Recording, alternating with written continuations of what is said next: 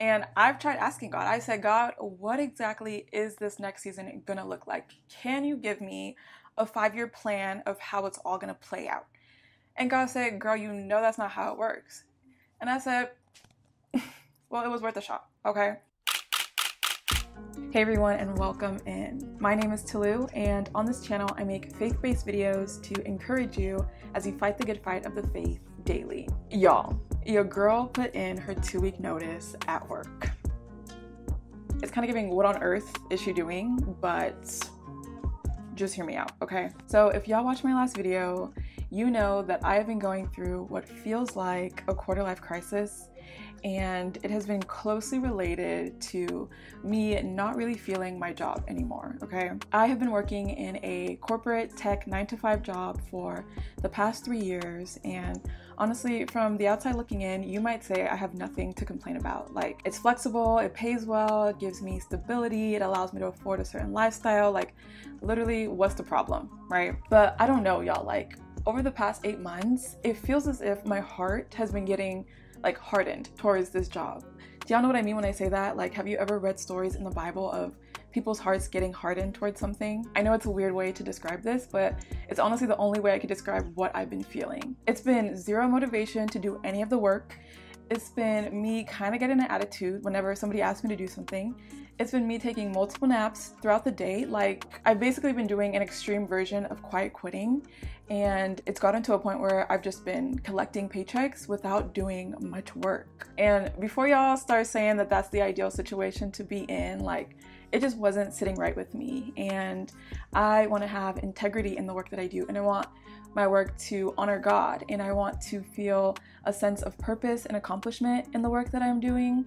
And that just stopped being the case with this job. As I've been praying about this over the past few months, I also feel like God has been trying to call me out of this job for a few months now and prepare me for a new season that He wants to bring me into. But the tricky part about that is that I still don't have the clearest idea of what that's gonna look like. Like, I just believe it has something to do with this channel, especially, and sharing my faith and other things that God has been putting on my heart, but that's about it. And I've tried asking God, I said, God, what exactly is this next season gonna look like? Can you give me a five year plan of how it's all gonna play out? And God said, Girl, you know that's not how it works.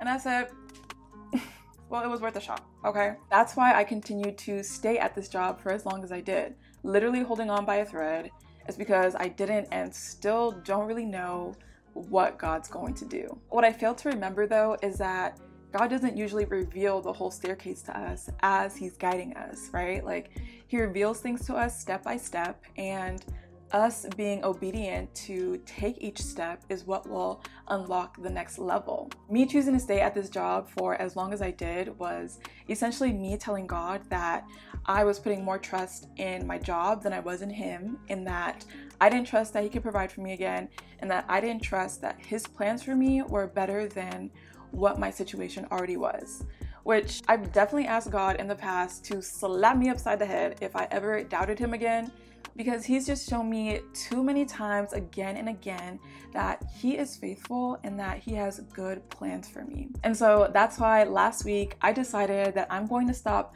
living in fear and doubt and stop putting my trust in a job that is clearly not intended for me in this season anymore. And I quit. I truly believe that me quitting was me taking that first step.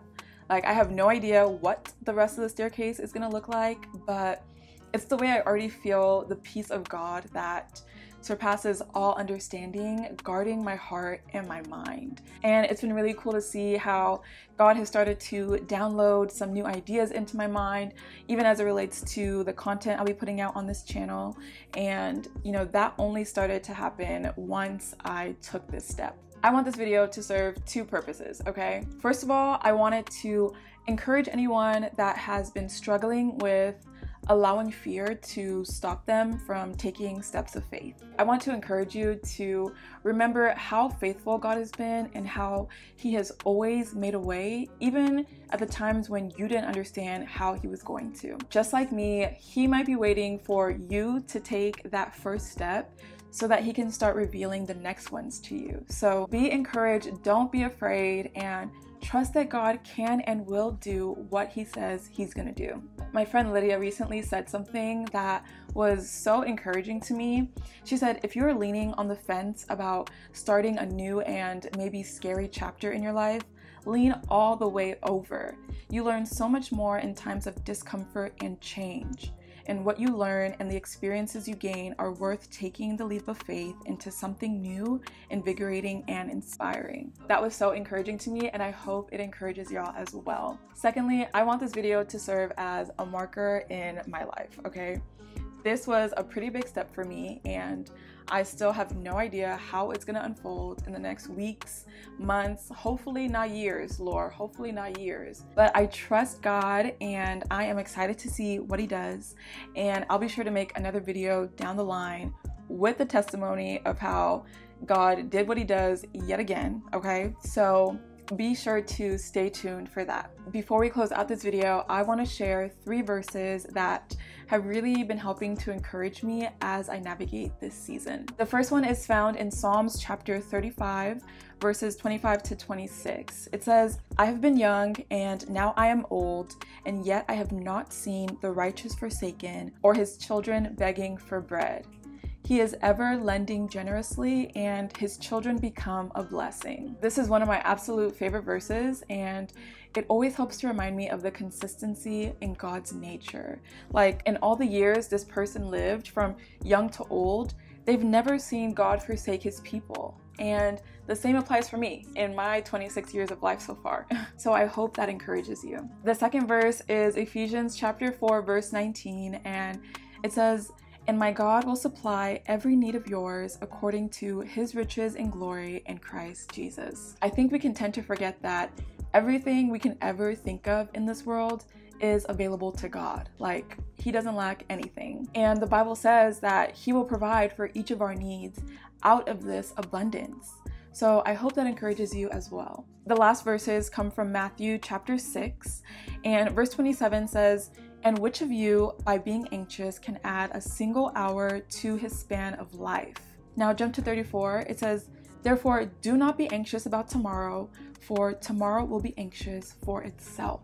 These verses have really been challenging me to stop trying to be in control by trying to understand how the next you know, a few months will unfold, but rather to take things day by day and see what God does with each day. Tomorrow is literally not even promised anyway, and so there's no point in us getting all worked up about it when we could be enjoying the present moments and the sweet things that God is doing in them, okay?